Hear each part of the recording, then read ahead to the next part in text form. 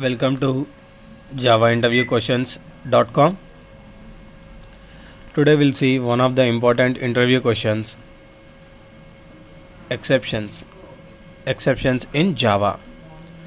First let's see what is an exception and when exceptions get arised and uh, how exceptions are created and where exceptions are defined in Java and how these exceptions can be handled.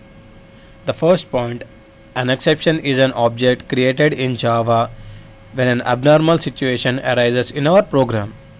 So, whenever an abnormal situation arises in our program, JVM will create an exception object for us. For example, if we take a null pointer exception, we get null pointer exception if we if we try to access a method on a null object. JVM will throw a null pointer exception. Next.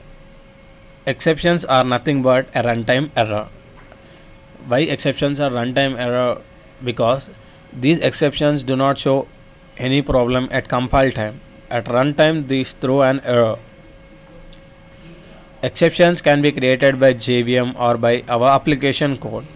Exceptions can be created by JVM or by our application code. And next point is where exceptions are defined. Exceptions are defined in java.lang all exception classes are defined in java.lang and the last point is exceptions how exceptions get created or who creates exception. In most of the cases exceptions are caused by our program and hence they are recoverable. We can recover an exception by doing exception handling. Why we need to take care of exception and exception handling we'll see in the next video. For more interview questions log on to www